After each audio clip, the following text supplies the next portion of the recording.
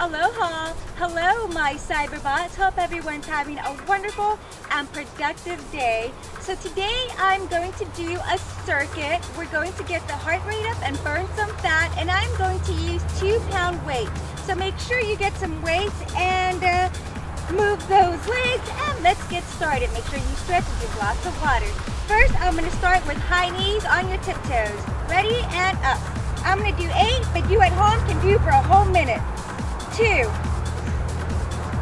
three, legs up, four, five, six, seven, last one, last one, and eight. Now I'm gonna go for a jab. Two, three, four, five, six, seven, eight. Now we're gonna punch it out. Two, three, four, five, punch, punch, punch, six, seven, and eight. Yeah! Now you're gonna punch and put your leg to the side. Ready? Here we go. Two, three, four, five, punch it up, Six, seven, last one, and eight. Woo! Shake it out. So I just did a set of eight, but you at home can do for a whole entire minute and do at least eight rounds. Okay, my cyberbots, make sure you stretch and drink lots of water. So I've had a few emails on how people can incorporate these into their exercise routine.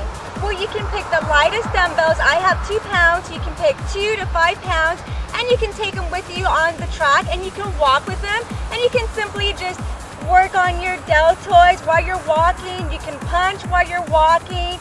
Uh, if you're at home, you can simply grab these and jog in place.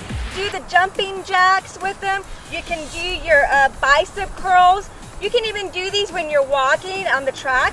And you can also do work on your triceps as dips.